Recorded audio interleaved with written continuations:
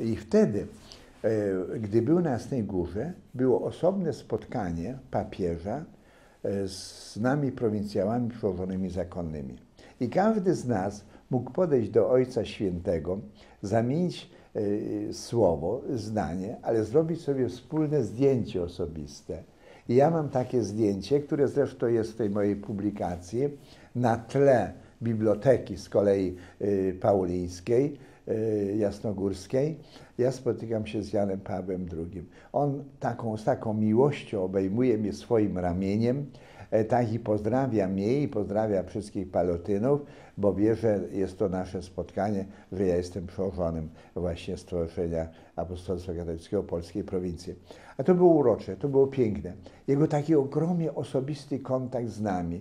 On chciał jak gdyby tym swoim sercem nas wszystkich i ogrzać, i dodać nam odwagi, optymizmu. On promieniował na nas nie tylko tą mądrością, ale promieniował na, na nas duchem odwagi i zwycięstwa.